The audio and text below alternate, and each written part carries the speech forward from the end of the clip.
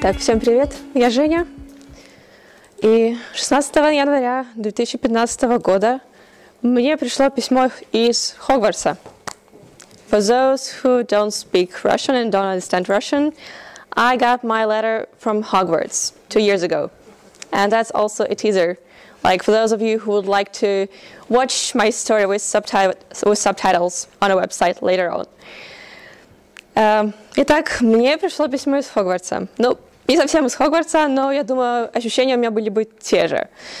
Э, В моем письме говорилось о том, что меня выбрали одной из многих для участия в волонтерском проекте в Ирландии. И согласно этому проекту я должна была один год э, провести в Дублине, работая в организации Friends of the Elderly, э, которая работает с одинокими и социально изолированными пожилыми людьми. И, собственно, моя задача была сделать этих людей чуть менее одинокими, чуть менее социально изо- изолированными. И я мечтала о такой возможности очень давно, поэтому вот отсюда и сравнение с письмом из Хогвартса. И как любой нормальный человек, после получения письма из Хогвартса я начала строить грандиозные планы. Вот. Мне казалось, что вот я была уверена, что моя жизнь кардинально изменится. И не только моя жизнь, а и я смогу изменить жизни многих людей, потому как это то, что делают волонтеры. Они меняют мир к лучшему и помогают людям.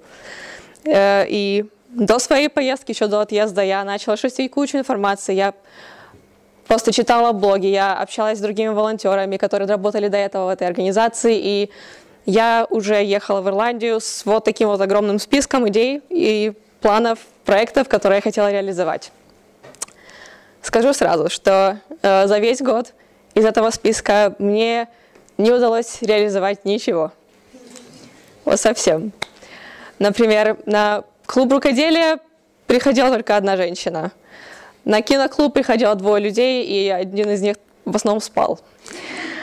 Вот, на некоторые проекты у нас не было денег у организации, а какие-то другие мои идеи, в принципе, не нашли поддержки у и отклика у других моих коллег-волонтеров.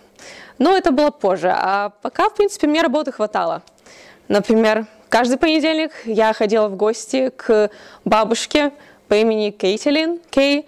Ей 96 лет, и она очень забавная, наверное, самая позитивная бабушка, которую я когда-либо встречала, которая никогда не жалуется ни на что. Это уже как бы э, событие. Э, С ней мы пили чай, болтали о ее жизни, ходили гулять, потом снова пили чай. По вторникам я ходила к другой бабушке по имени Гита. Это была самая депрессивная бабушка, которую я встречала в своей жизни. Вот. Ну, вплоть, вплоть до того, что вот у, нее, ну, у нее действительно была тяжелая жизнь, у нее было несколько попыток суицида, и у нее было плохое здоровье. В принципе, я понимаю, почему она все время была расстроена. И ничто ее особо не радовало, кроме прогулок по вторникам в парк и бокала вина в ресторане каждый вторник. Э, По средам у нас был клуб, э, куда приходило 60-70 человек каждую неделю, и они пели, танцевали, сами играли на музыкальных инструментах, на всех, э, в том числе и барабанные установки. Вот. А мы им снабжали чаем, печеньками и мороженым. По четвергам у нас был клуб новых технологий, потому как вот вы все знаете, что, наверное, пожилым людям тяжеловато с технологиями, и мы зам- занимались, что помогали им зарегиться в Фейсбуке, там, в скайпе пообщаться со своими родственниками, там, купить книги по вязанию на Амазоне, такое тоже было. Вот. А по пятницам я ходила к своему любимому, наверное, хотя так нельзя говорить, нет, ну, к очень классному дедушке э, по имени Николас, э, с которым мы очень много говорили про политику, про историю Ирландии. И тоже пили чай, и тоже ходили гулять, и снова пили чай. И так каждую неделю, каждый месяц, на протяжении всего года. И вот в какой-то момент я поняла, что все-все-все мои грандиозные планы и большие классные идеи, которые я себе планировала, они вот плавно перетекли в чай и прогулки по Дублинским паркам. То есть это все, что я делала. Пить чай, гулять. Пить чай, пить вино, гулять. И вот я думала, это, конечно, прикольно, это вообще классное времяпровождение, я люблю чай. Может, не в таких количествах, но люблю. Но это было не совсем то, как я себе представляла волонтерство. Все-таки мы все привыкли, знаете, к этим идеям о том, что ты меняешь мир, ты там, там жертвуешь или там собираешь вот просто тысячи-тысячи там долларов на какие-то э, проекты. Ты роешь колодцы в Африке, ты там, ну, ну что ты делаешь очень-очень такое большое и заметное, которое вот все видят, и ты сам видишь результат. А я этого не видела, и для меня это было большой проблемой, потому как мне казалось, что я здесь провела почти год, и ничего не поменялось. То есть, да, все старички были очень всегда рады и чаю, и поболтать, и пожаловаться, и погулять, но вот мне хотелось оставить что-то после себя, потому как я понимала, что я уеду, и все. То есть как бы у них все будет по-прежнему. И, собственно, вот с такими унылыми мыслями я уже заканчивала свой проект. И мне казалось, что все, вот я уже разочаровала себя как в волонтере. И, ну что ж, ничего я не поменяла. Но вот за месяц до моего отъезда случилось что-то для меня очень необычное.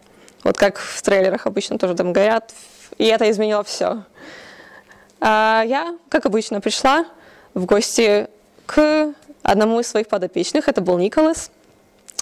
И он мне такой говорит, слушай, вот мы с тобой так много говорили про, вот, про, про путешествия, про прогулки. И я вот вчера, знаешь, что сделал? Я вдохновился, я сел на автобус и поехал в центр Дублина. И погулял там по местам былой славы, зашел, погулял к своему, около своего универа, около места работы и зашел в Макдональдс потом пообедать. Возможно, для тех, кто не знает Николаса, это ну, небольшая новость, но окей, дедушка сам пошел погулять в Дублин. Но Николас на тот момент не был в центре Дублина уже больше трех лет. Почему? Потому как он наполовину парализован, и он не может самостоятельно передвигаться, и для, для, для передвижения ему нужен либо специальный ходунок, вы знаете, такие как Э, в фильмах вы, возможно, видели, либо же инвалидная коляска. То есть он сам впервые за три года сел на инвалидную коляску, сел на автобус и поехал в центр города. То есть для меня это было большое событие, потому как, потому как, как он сказал, это было после наших разговоров и после наших прогулок. Вот у него появилась такая идея и смелость поехать и погулять самому. И я уже была рада, то есть мне уже казалось, блин, все-таки что-то действует, вот все-таки я не зря здесь приехала, вот я что-то меняю, я кому-то вот что-то помогаю, вот как-то жить немножко лучше. И вот буквально через пару же дней я была в гостях у другой моей подопечной, у Кей. И она мне говорит, слушай, я вчера сделала одну сумасшедшую вещь. Я вышла на улицу и пошла гулять, вот прямо по, по, вот прямо по улице пошла и не останавливалась. И долго-долго-долго шла, пока не заблудилась. Вот. А Кей на тот момент было 96 лет, и с памятью было у нее не очень, поэтому заблудиться ей было очень легко. И дошло до того, что она начала спрашивать прохожих, где вот эта вот улица, на которой она живет, никто не мог подсказать. Поэтому она позвонила своему сыну, который выехал на машине, нашел ее и все-таки привез домой. Но поразительно, она была счастлива, потому как она, несмотря на то, что она, конечно, создала кучу проблем людям вокруг нее, там заставила поволноваться всю ее всю семью, но она была счастлива, потому как она смогла сама выйти и погулять. А до этого, когда мы с ней говорили про всякие путешествия и прогулки, она была шокирована, что я могла гулять сама по Дублину. То есть, это как это? Там, без друзей, без молодого человека по Дублину гулять кошмар. Вот. И, наверное, эта ситуация меня впечатлила еще больше, потому как эта женщина была, которая сама никогда в принципе не, походила на улицу далеко. И она тоже взяла и пошла. Вот почему-то ее вдохновило на вот такое путешествие и приключение. И в эту секунду, ну почти в эту секунду, я поняла, что вот все-все-все эти недели, когда я приходила к ним, и мы выходили погулять ненадолго, потом мы пили чай, и обсуждали разные истории, в том числе и мои путешествия. И все вот эти вот маленькие-маленькие-маленькие моменты, они в какой-то момент вот соединились в, одно такое вот большое позитивное влияние. Пускай это косноязычно немного звучит, но вот все эти маленькие небольшие встречи, они их вдохновили в итоге сделать для себя что-то очень непривычное, что-то, чего они боялись и не сделали бы, если бы не было этих наших встреч.